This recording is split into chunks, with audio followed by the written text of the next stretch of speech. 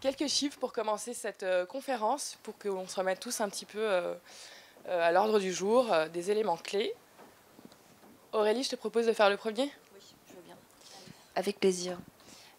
donc, bon, je pense que le premier chiffre, vous-même, quand vous utilisez Internet, vous, vous le savez déjà. L'idée pour Google n'est pas d'être un moteur de recherche, mais un moteur de réponse. Donc en fait, forcément, plus il fait bien son travail, plus les réponses se retrouvent en début de page. Donc forcément, 75% des internautes ne font jamais défiler cette page, tout simplement parce qu'ils trouvent la bonne réponse dès les trois premiers résultats de recherche. Voilà, donc je pense que c'est plutôt explicite. Sur la vidéo, on le sait, aujourd'hui, euh, du contenu innovant et différenciant, c'est important, mais euh, il faut le redire à chaque fois. Euh, sur les landing pages, 53% de chances d'apparaître en première page dans les, résultats de recherche. je sais que là, écrit là-dessus, ça paraît évident pour tout le monde, mais finalement, on n'est pas encore tous à le faire. Et voilà, donc pour nous, c'était un des chiffres clés à remettre là-dessus. Un autre euh, chiffre assez, euh, assez bluffant, un milliard de recherches vocales aujourd'hui effectuées tous les mois euh, en janvier 2018 par la voix. sur Google, on est à 20%. C'est quand même beaucoup, donc ça va être un élément phare à prendre en compte dès à présent. On en reparlera tout à l'heure avec Legrand et euh, notamment sur les tendances, on va essayer de, comprendre un peu plus euh, pourquoi et comment l'utiliser, euh, comment travailler justement les, mots-clés, et plus que les mots-clés, mais des questions, des phrases pour apparaître devant les autres. Sur les publicités, tu veux dire un mot ou je continue? 52% voilà, du marché. C'est encore une, tendance en forte progression. 209 euh, milliards de dollars dépensés dans le monde en publicité euh, en 2017. Donc évidemment, les dépenses publicitaires euh, de mobile représentent toujours plus de, chiffres et encore et encore.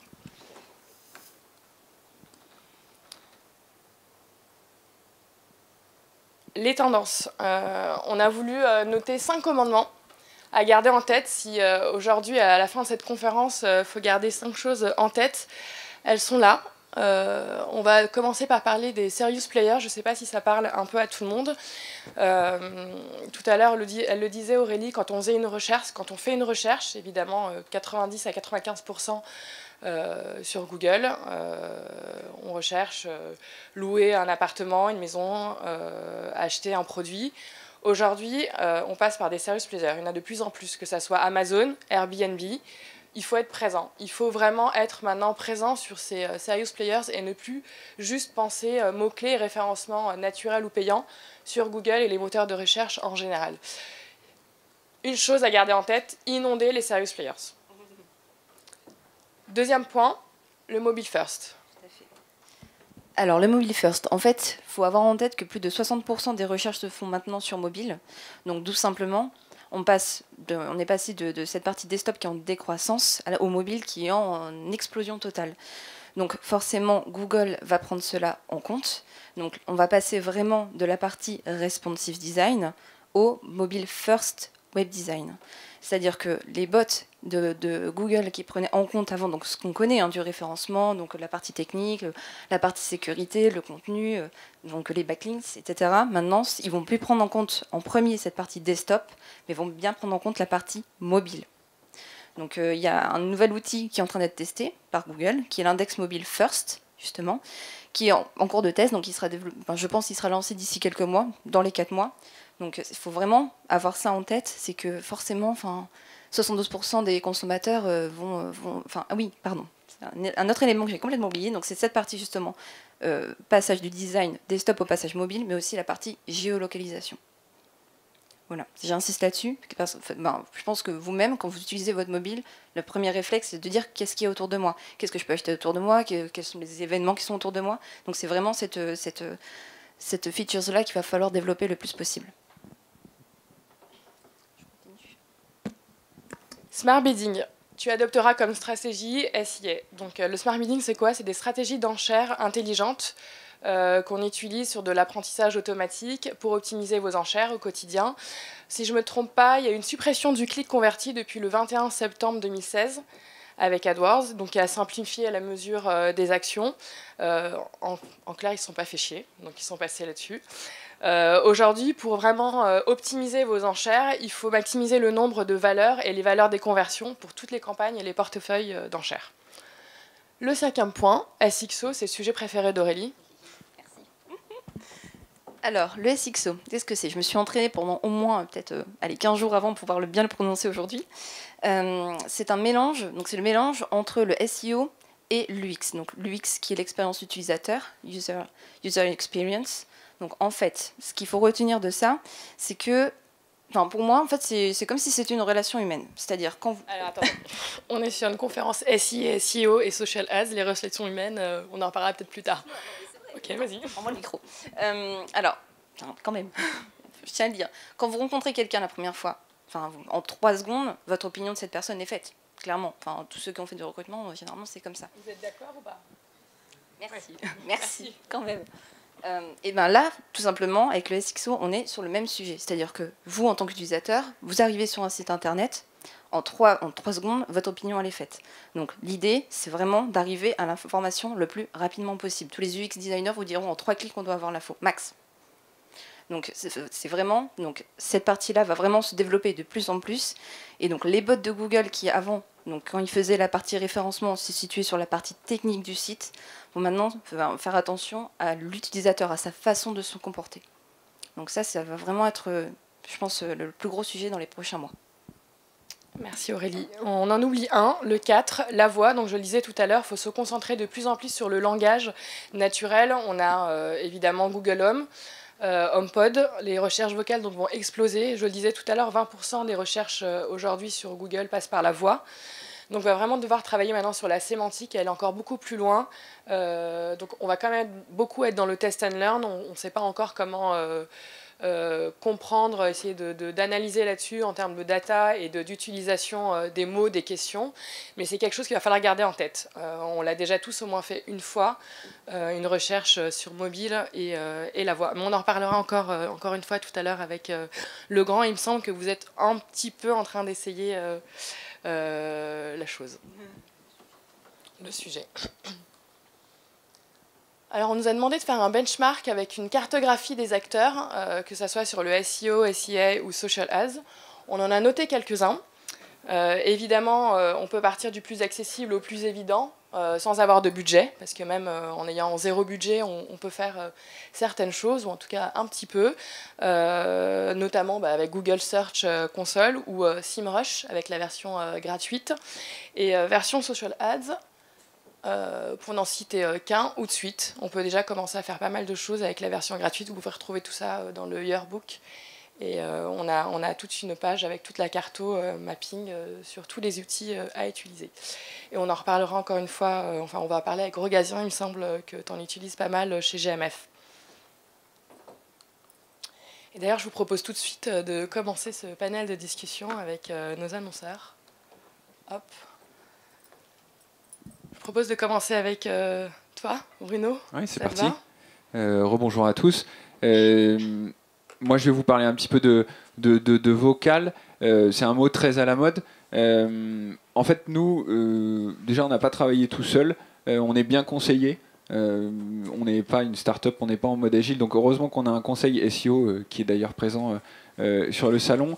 Il nous a, depuis un peu plus d'un an, euh, fait euh, part des tendances de, Google, euh, moteur de réponse derrière un keywords, mais pas que. Très clairement, tout ce qui est question, voire même une réponse à une question, il nous a beaucoup challengé là-dessus.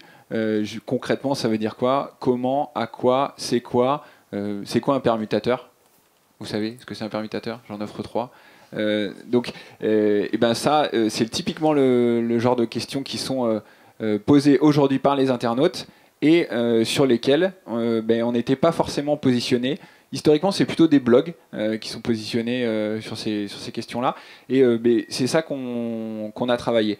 Et on, l'a vu aussi, c'est très en phase avec cette tendance vocale, avec, le mobile, consultation sur mobile. Et d'ailleurs, c'est ce qu'on a pu mesurer. C'est-à-dire que beaucoup euh, on a touché de nouveaux clients avec euh, la démarche dont, je vais vous faire part. On a touché de, nouveaux clients et euh, beaucoup de consommation sur mobile. C'était un, nouveau point. Juste pour rebondir, est-ce que tu peux nous expliquer comment tu mesures ça et quel outil tu utilises aujourd'hui chez Legrand? Alors, la mesure, elle, est très classique, hein, c'est via de l'analytics, du Google Analytics, et, et ouais, le, l'analytics nous montre que euh, c'est du client B2C euh, en mobilité et le week-end. Alors qu'est-ce qu'il fait euh, ce client B2C en mobilité le week-end? Il vient sur des requêtes mais qu'on ne traitait pas avant. ces requêtes, comment est-ce qu'on les a déterminées? Et c'est un peu la démarche méthodologique que je vais vous expliquer là. on a essayé de se mettre dans la peau de nos consommateurs, de se aussi d'échanger avec notre service client parce qu'on a une mine d'informations euh, au niveau du, service client, euh, de regarder un petit peu ce que faisaient euh, déjà nos concurrents parce, que, parce que ça compte. Et derrière, ça s'est traduit par schématiquement une question-réponse, donc une URL, une page. et on essaye de se placer dans la SERP. On parlait de mesures tout à l'heure, on le sent aussi, Google a, et vous l'avez vu, euh, il y a beaucoup de bouleversements dans la SERP avec euh, cette fameuse position zéro, euh, le featured snippet, le people also ask, autre autre réponse. ça, ça pose beaucoup de questions. on se glorifiait d'être en position 1. On voit que les cartes, elles sont, elles sont rebasculées, rebousculées. et, et on sait aussi que demain, les études nous disent qu'à 80%, ce sera la, position zéro qui sera utilisée en recherche vocale. Donc euh, voilà, là aussi, on, mesure pas ce biais-là. Donc euh, on a, des, euh, on a quelques feature snippets et on en est fiers. Est-ce que tu veux nous parler aussi un petit peu de, de content, de SEO Comment tu fais chez Legrand pour passer de B2B à B2B2C Comment vous faites en interne pour pouvoir vraiment vous positionner sur euh, un certain nombre de mots-clés et notamment euh, d'expérience, d'inspiration sur les, utilisateurs finalement Comment ils s'inspirent euh, sur les métiers? On y discutait avec Aurélien là juste avant. La, frontière entre déjà B2C et B2B, elle est de plus en plus fine. Euh, ce qu'on a mesuré, c'est que le, B2C, il veut vraiment être capable, même s'il va faire ses travaux, même si vous allez faire faire vos travaux, vous, voulez être capable de discuter d'égal à égal avec votre installateur. Donc euh, il faut donner euh, un maximum de, conseils, de réassurance, donner la, possibilité de se projeter. Et ça, après, il faut le traduire en termes de médias sur le site internet par du contenu. Là encore, on va, on va faire des guides, comment choisir mes interrupteurs électriques, sur des thématiques euh, plus actuelles comme la maison connectée, euh, comment être sûr que j'ai éteint toutes les lumières en, quittant euh, ma maison. voilà. Par ce biais-là, on essaye de... et c'est des requêtes, vous l'avez vu, qui ne sont pas forcément brandées. Ça, c'est intéressant. C'est-à-dire que c'est pas comment choisir mon interrupteur électrique Legrand. C'est comment choisir mes interrupteurs. Donc on est un peu plus loin de la marque et on ramène des gens, le mot à la mode c'est incrémental, qui n'étaient pas forcément, qui n'avaient pas forcément l'habitude de, venir chez nous. Merci euh, Bruno. Et euh, Aurélien, ça me fait penser à quelque chose. Comment tu fais pour passer du SEO au SIA, avec notamment l'approche complémentaire? Euh, Comment on fait? Je n'ai pas encore toutes les solutions, mais en tout cas, c'est un gros challenge qu'on a identifié. C'est Aujourd'hui, on travaille très régulièrement de manière silotée. c'est un mot que j'entends beaucoup depuis ce matin. le SEO d'un côté, le SIA d'un côté. Et là, aujourd'hui, on essaye d'avoir une, une, démarche assez regroupée. Euh, de travailler euh, la longue traîne et pas les évidences en SIA en comparaison avec comment on est positionné euh, de manière naturelle sur nos résultats. Par exemple, sur vélo, VTT ou VTT pas cher, on est les 5 ou 6 premiers résultats de manière naturelle. Est-ce qu'on a enjeu d'investir autant en SIA sur ces recherches alors qu'on pourrait aller chercher un peu plus loin sur VTT haut de gamme euh, ou euh, d'autres sports, parce qu'on en a euh, énormément chez, chez Decathlon. Et, notamment, juste pour compléter, on travaille avec des outils, donc là on est en train de changer, donc je ne vais pas le préciser, mais de pilotage de la position, qui va derrière nous permettre ensuite de réajuster le budget SIA. Pour aller plus loin, vous avez notamment une problématique du local, je crois, chez Decathlon. Je ne sais pas si je peux le dire, mais euh, sur les, nouvelles, euh, les nouvelles marques de sport. Tu m'en avais parlé, euh, tu sais, il y a quelques jours au téléphone. Du coup, vous avez cette problématique où vous devez vous positionner sur différents mots-clés. Et donc, en local, comment, comment, comment vous faites pour gérer cela? Oui, moi, moi ce que je voulais partager, c'était à la fois donc euh, SIA, le local, parce que nous on est donc concepteur, distributeur, donc on a une marque Decathlon, on a énormément de sous-marques, euh, Kipsta, euh, Between, et on a plus de 325 euh, points de vente en France. Et c'est comment justement ces points de vente, on arrive à les rendre visibles sur la page Decathlon, sur Google, mais aussi sur Page Jaune, sur Foursquare, sur euh, énormément d'outils. Et donc là, on vient de changer, on travaille avec Yext, qui permet de, euh, de gérer en fait la présence de la marque de manière unifiée sur l'ensemble de ces, euh, euh, ces, ces sites, euh, magasin par magasin, avec les visuels, avec le nom, avec les horaires d'ouverture qui peuvent changer et qui sont déployés instantanément sur l'ensemble de ces supports. Et il y avait un point où on n'avait pas échangé, mais c'est le SXO, euh, parce que je te rejoins Aurélie, c'est un, un vrai sujet. Euh, moi, je définis comment euh, aujourd'hui euh, Google nous positionne bien si on, est, on a bien fait le boulot de manière assez technique. Mais aujourd'hui, le temps que l'internaute a passé sur le site pour revenir faire cette même recherche sur Google est de plus en plus important. C'est-à-dire que la réponse qu'on a proposée n'est pas la bonne. Donc nous, on a lancé deux chantiers avec deux sports deux sous-marques de manière très pointue pour aller chercher et mieux comprendre justement toute cette expérience de la recherche. Euh, vous tapez jogging, est-ce que vous voulez un pantalon pour mater la télé ou est-ce que vous voulez des lieux de pratique? Est-ce que vous voulez des chaussures pour courir un 40, un 10, un 120 km C'est tous ces éléments-là qui sont, euh, ou des conseils. Euh, donc on travaille vraiment ce sujet. Oui. Le but, c'est d'humaniser la relation justement entre l'utilisateur et l'interface. Exactement. Bien d'accord. Merci. Rogatien, euh, on va encore parler de, contenu de qualité. Il me semble que pour toi, euh, en tout cas chez GMF, euh, c'est important et notamment aussi la problématique, le socle technologique. Mais je voudrais que tu expliques comment vous faites pour, on le sait aujourd'hui évidemment, le contenu c'est important, il faut se positionner sur l'ensemble des mots-clés, mais pas que.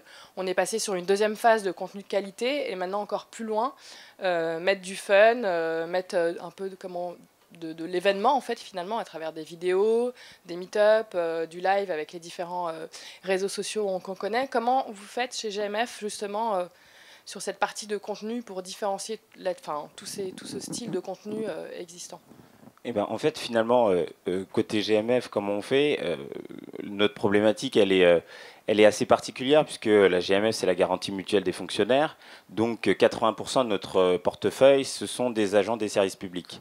Et donc, pour finalement faire un, contenu qui soit unique et pertinent, il faut aussi tenir compte de, ces cibles qui sont totalement différentes on ne peut pas parler euh, de la même façon et des mêmes sujets à euh, finalement un- une infirmière euh, en hospitalier ou à un, professeur, de mathématiques. Donc finalement, il faut qu'on arrive à créer des, contenus qui soient uniques, pertinents et qui soient aussi le plus frais possible. Euh, et euh, après, il y a un deuxième prisme, et c'est le, le- le- finalement euh, ce qu'on a vu là sur, ce, benchmark, c'est que finalement les, consommateurs vont chercher ce, ce contenu à la fois en SEO, à la fois en SIA et aussi sur la partie sociale. Donc il faut qu'on ait à la fois une réponse adaptée pour, euh, chaque, euh, euh, pour chaque contexte, pour chaque, pour chaque utilisation. Donc le, traitement qu'on doit faire, il est double. C'est bien un traitement pour une cible donnée et un traitement derrière sur une réponse. On ne va pas répondre de la même façon à une personne qui est en train de consulter des, nos, finalement notre, notre page ou notre SAV sur, sur Twitter ou est en train de se renseigner sur les réseaux sociaux par rapport à une personne qui, qui fait une recherche sur euh, meilleure assurance auto euh, sur la partie, euh, sur la partie, sur la partie SIA. Pareil, on ne fera pas non plus la même réponse à une personne qui, euh, qui est en train de se, se- se poser des questions sur euh, sa franchise ou euh, sur, sur son bris de glace et qui, qui est là sur des requêtes qui sont beaucoup plus euh, longue traîne, qui se demande euh, pourquoi est-ce que mon assureur, alors que je paye déjà, me demande, de, de- de- me demande une franchise. Donc cette réponse-là, elle, elle est compliquée. Elle a été compliquée parce que finalement, on se dit euh, qu'on on va réussir très vite à, à couvrir une partie du champ, mais il va falloir aussi euh, trouver une réponse pour euh, industrialiser la façon dont on crée ce contenu-là. Ce contenu, il doit continuer à vivre, il doit continuer à être euh, en rapport avec l'actualité, il doit continuer à finalement avoir cette fraîcheur qui fait que quand la personne arrive, elle se dit oui, il a compris ma requête, oui, il a compris ma problématique, et donc oui, cette, cette marque-là, même si on est, on remonte dans la chaîne et on n'est pas forcément sur une réponse GMF en tant que telle, comme, euh, comme le grand le disait tout à l'heure on est sur une, une, réponse à une attente, à une question, et qui fait qu'on est en train de construire une, une relation et une préférence de marque. Sur les outils que vous utilisez euh, au quotidien chez GMF et eh ben, sur, sur, les outils, euh, parce que pour nous, euh, la, réponse a été à la fois de, de, de faire ce qu'on pourrait appeler une usine à contenu pour, pour pouvoir adapter à chaque fois le, le, discours par, par finalement cible et ensuite par par, euh, par canal.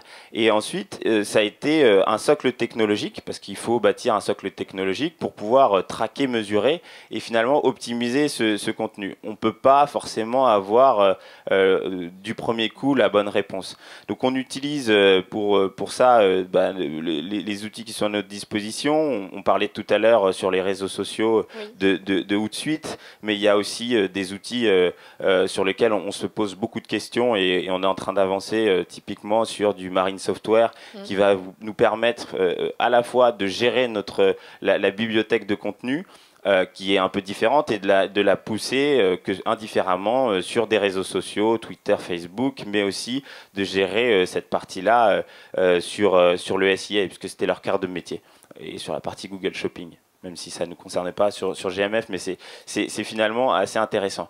Après, sur la partie SEO, et c'est ça qui nous permet de monitorer euh, la longue traîne et de, et de voir les tendances, euh, sur le SEO, on, est, on, on, utilise euh, la, la, la, Search Console et, et les outils type, type SEMrush qui nous permettent finalement de, de bien monitorer.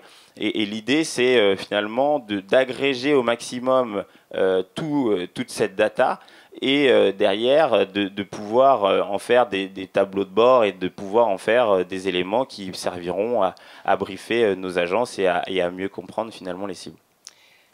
tous les trois, on avait une question aussi à vous poser sur la, création de contenu au quotidien, puisque apparemment c'est quand même le, sujet important pour travailler le, référencement naturel ou payant. Comment vous fonctionnez chacun dans vos entreprises? Parce que là, j'ai ouais, entendu plusieurs fois le mot industrialisation. Je pense que c'est euh, un thème qui est un peu important euh, sur cette partie contenu, justement. Alors, je commence. Euh, sur le contenu, on a vraiment des gens qui, dont c'est le métier chez nous, qui, ont le label contenu. On a essayé de mettre en place toute une organisation, des comités édito qui sont, là tu parlais de silo tout à l'heure, intermétiers, ça c'est important. Et ensuite, ben, on s'adresse à des agences. on a différentes agences de contenu qui nous, qui nous aident. Euh, et je reviens juste une seconde sur, le, sur les outils qu'on utilise, parce que pour moi c'est très lié. Euh, les gens qui font du contenu, euh, ils utilisent aussi des outils. Tu as parlé de la suite Google, et nous, on a vraiment eu à cœur que chacun puisse comprendre eh ben, qu'est-ce qui se passe sur le site, qu'est-ce que je regarde dans la suite Google. On utilise aussi un outil propriétaire de, de l'agence là qui nous qui nous conseille pour euh, le, suivi euh, des positions notamment, de ce que tu disais aussi, euh, le, SEO, SEO, SEA, où est-ce que j'investis, est-ce que j'investis pas. donc c'est la suite qui s'appelle monitoring de, mon prestataire Pixelion. Voilà. Aurélien peut-être? Moi, sur le contenu, en fait, on a deux stratégies. Alors, on a une problématique organisationnelle en ce moment qui fait que c'est pas, ça peut pas être une des priorités, parce qu'en fait, on est en train de découper tous les sports et toutes les marques, donc on est en train de se staffer en interne. Euh, par contre, en termes de contenu, on a toute la partie produit qui est très axée sur le decathlon.fr. Je vous invite à aller euh, faire un tour si vous ne l'avez pas encore fait. Et sur toute la partie plutôt conseil, accompagnement du choix du sportif, de se mettre au sport, de monter en gamme, euh, en compétence sur le sport, on l'a sous un sous-domaine aujourd'hui. qui, qui s'appelle Conseil Sport. Et donc c'est sur cette partie-là, notamment qu'on investit beaucoup de temps et de contenu, enfin qu'on produit beaucoup de contenu, mais il y a encore beaucoup de chemin à faire sur cette partie-là. Pour, répondre sur, la, partie GMF, euh, finalement, euh, on, a eu une démarche en deux temps. La première démarche, ça a été euh, finalement de, commencer sur des comités édito et de, centraliser le, contenu. on a travaillé beaucoup avec des journalistes en freelance. On a essayé vraiment de, de, se professionnaliser sur cette partie contenu. Mais euh, finalement, on se rend compte qu'il euh, y a un moment donné, euh, ça veut dire une coordination et un travail qui est, qui est pour, pour une, une, marque comme la GMF et pour un, service digital qui est quand même colossal. Donc on se dit, hein, avec une qualité qui n'est pas toujours, pas toujours au rendez-vous. Donc on, là aujourd'hui, ben, on travaille sur une proposition avec Nexton pour finalement arriver à se dire euh, on a euh, les, éléments data, on a ces éléments et cette, euh, finalement cette trajectoire qu'on veut avoir. Et on, va travailler sur cette notion d'industrialisation, d'industrialisation qui permet et de rationalisation qui permet d'avoir sur un acteur finalement unique, un guichet unique et après derrière d'avoir cette déclinaison qui soit avec des journalistes, avec de l'infographie, avec de la vidéo et qui va nous permettre finalement euh, vraiment de passer à une échelle qui soit, euh, qui soit euh, plus, plus industrielle. bon, je me permets, hein, j'ai une petite question parce que vous êtes plusieurs à avoir parlé de longue traîne et de l'importance donc ça avait pour vous. Je pense qu'on a vu tout à l'heure que ça avait justement, c'était en, en, rapport aussi avec la partie recherche vocale.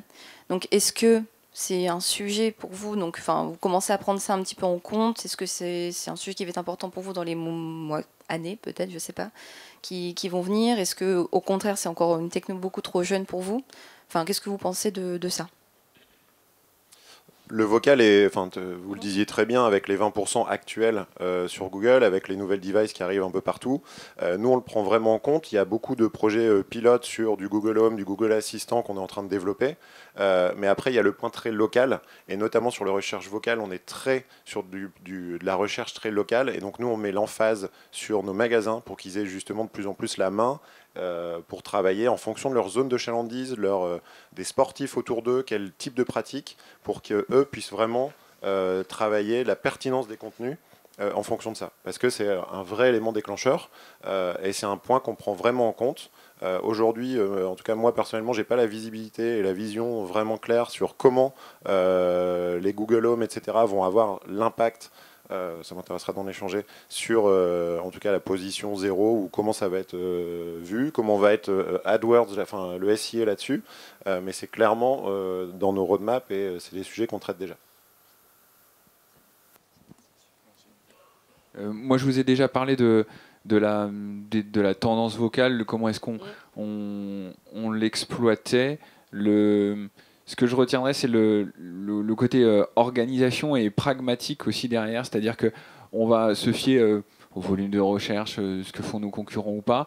certes, on, va écrire, comme on l'a dit, écrire du contenu, c'est consommateur en temps, en ressources, en énergie. donc on va miser sur certaines questions-réponses, par exemple, et après on va regarder ce qui marche. Et, on va enrichir toutes les semaines, donc d'où les outils, d'où le suivi. et et on aime bien capitaliser sur une ou deux pages qui, euh, qui apportent énormément de trafic. Et c'est le cas, on voit, il y, a certaines questions qui émergent plus que d'autres. Euh, et voilà, on capitalise là-dessus. Euh, pour, compléter, euh, et c'est ce que vous étiez en train de montrer aussi tout à l'heure, euh, sur la partie smart bidding, sur cette, finalement, le poids de la longue traîne et du vocal, il y, y, avait des outils, on a cité SEMrush tout à l'heure, il y a aussi une, une vraie révolution côté, côté, côté Google sur beaucoup plus d'automatisation et beaucoup plus finalement de, de, on va dire, d'intelligence qui, qui, est mis dans, le, dans, le, dans la façon de faire du search.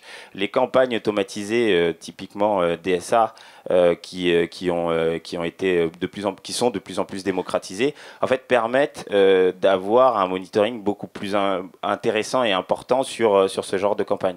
C'est-à-dire qu'on vient, on vient plugger une grande partie des contenus de son site et, et, les inclure finalement dans, dans, les, dans, des, dans des campagnes automatisées qui sont gérées totalement de l'annonce euh, finalement à, euh, aux résultats et, aux enchères euh, qui sont intégrés totalement par, par un algorithme du côté de Google.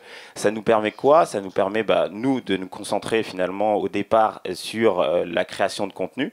Et après, derrière, ça nous permet de voir finalement l'évolution des, des, requêtes qui sont de plus en plus longue traîne et, et de prendre en compte mieux que ce qu'on aurait était capable de faire au départ, de, bien voir l'évolution et d'aller chercher finalement des requêtes sur lesquelles on n'était pas forcément euh, positionné sur lesquelles on se positionnait pas forcément.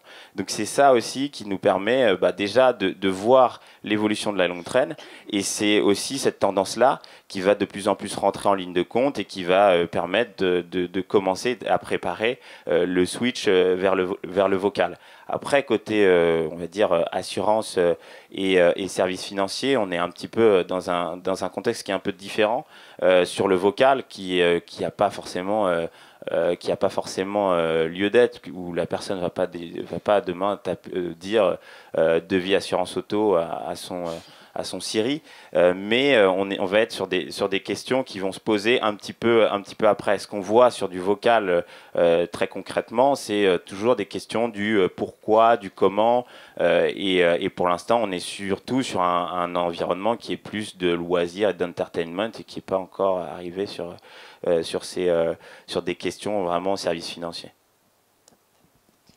Si vous me permettez, j'ai une dernière question. je suis intéressée.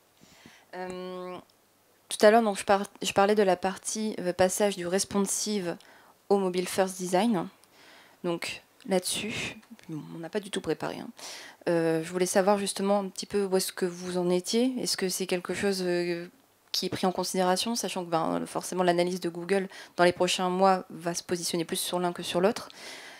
Par expérience, je, travaille encore plus avec euh, ben, des entités qui sont encore plus en responsive clairement comme Mobile First, même si ça fait plusieurs euh, années même qu'on en parle. Donc je voulais savoir où est-ce que vous en étiez là-dessus. Oh.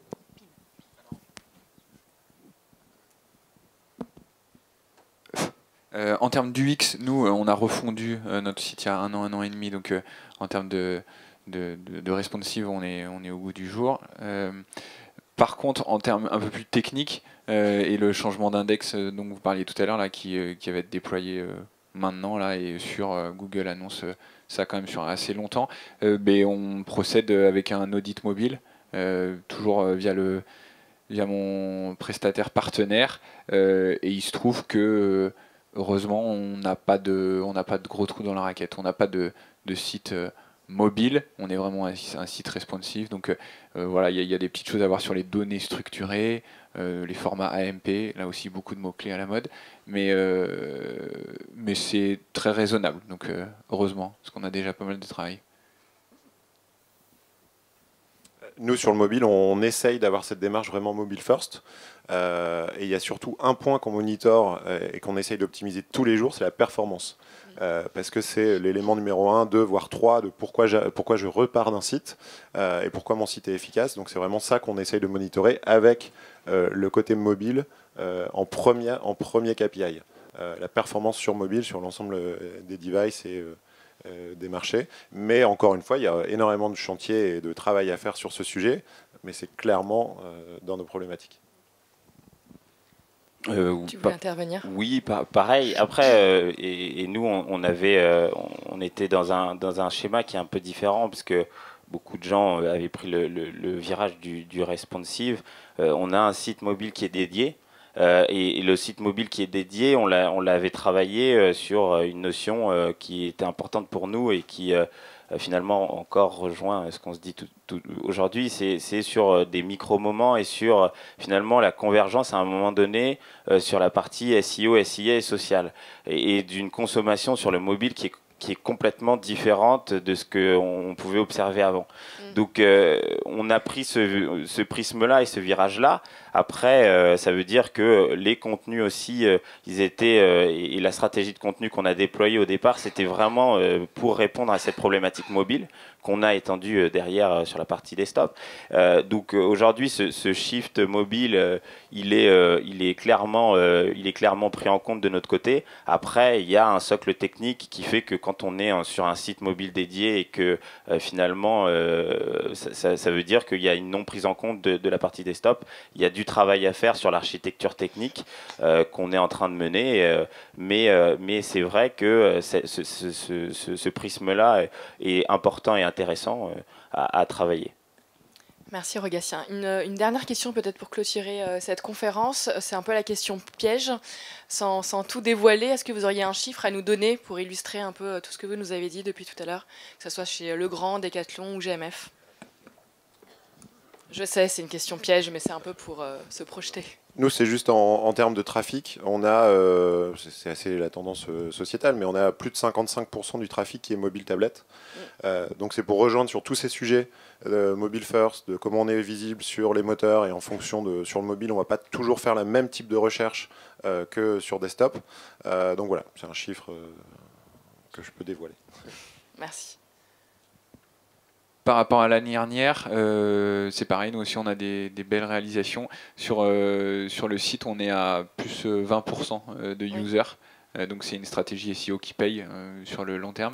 Et sur, sur YouTube, on n'a pas parlé aussi, on a fait de l'optimisation sur les réseaux sociaux. là, on est à plus 170%. Alors on partait de loin, hein, mais, euh, mais on a bien progressé. petit aparté avant d'en de, parler avec toi, Rogatien, sur YouTube, parce qu'effectivement, on n'en a pas parlé. Est-ce que tu veux nous dire un mot justement là-dessus, euh, sur la, problématique et comment vous l'utilisez au quotidien? Ben, On parlait de, des moteurs de recherche, on dit souvent que YouTube, euh, c'est le deuxième moteur de recherche au monde. là, nous, notre travail était plus en termes d'optimisation. se poser les bonnes questions, se dire qu'est-ce que c'est un bon descriptif, mmh. qu'est-ce que c'est un bon titre, qu'est-ce que c'est une belle vignette, euh, quand en trois secondes, comme on disait tout à l'heure, euh, j'arrive, est-ce que je trouve ce que je veux? Est-ce que j'ai des playlists? Donc déjà les bases euh, du SEO, mais sur YouTube. là encore, on a été conseillé au départ et ensuite on a réussi à le faire en interne et maintenant on réussit à l'externaliser. Donc voilà, le, la boucle est bouclée. Vous voulez peut-être aussi intervenir sur YouTube, Aurélien? YouTube, non, non. Enfin, pas sur YouTube. On a, on a revu toute la stratégie qui était plutôt, nous, un, fourre-tout. Et là, on, est, en travaille plutôt l'axe très social, vlogueur. On, est en train de, on a testé euh, quatre, euh, quatre formats vlog, euh, mais on ne le travaille pas assez sur la partie recherche, justement, avec les fameux trois types de vidéos qu'il faut pouvoir produire. On le sait d'ailleurs qu'aujourd'hui, la micro-influence est ultra importante. On l'a pas mis dans les cinq commandements. On aurait pu en rajouter un sixième. je perds ma voix, mais ça aurait pu être un point 6 avec euh, justement le fait de, créer de la micro-influence et de se rapprocher de plus en plus euh, d'influenceurs, mais euh, de, petits influenceurs, pas forcément avec des millions de vues et de, millions de, chiffres, mais c'est vraiment de créer une relation de proximité et, d'aller plus loin en fait avec eux sur de la création de contenu, que ce soit de la vidéo, de l'infographie, du live au quotidien. Rogatien, est-ce que tu vas intervenir là-dessus ou peut-être nous donner ton chiffre Alors, sur, le, sur les chiffres, je vais, je vais, euh, je vais un peu tricher sur, euh, sur, du, sur, sur Decathlon, mais, mais c'est un, chiffre qui me paraît vraiment intéressant c'est que finalement, aujourd'hui, on est à environ 50-52% euh, de notre trafic euh, prospect qui, provient de notre site mobile. C'est un chiffre qui pour moi est hyper euh, important parce que quand on, connaît les chiffres du secteur assurance, on est entre 35 et 40% des requêtes qui sont faites, assurances qui sont faites sur mobile. Ça veut dire que finalement, on a réussi à prendre le virage un peu avant avant d'autres euh, et que euh, finalement on, est en train euh, finalement de, récolter les fruits d'une stratégie qui n'est pas que basée sur finalement de, des schémas de performance, mais plutôt dans une intégration complète et qui nous permet finalement bah, d'avoir pris cette avance et de, et de, coller encore plus aux attentes des, des consommateurs. Merci. Est-ce qu'il y a peut-être des questions que vous souhaiteriez poser à nos annonceurs? Ben, je crois que tout le monde a compris et que tout le monde était très clair. Merci à tous, merci à vous. Merci.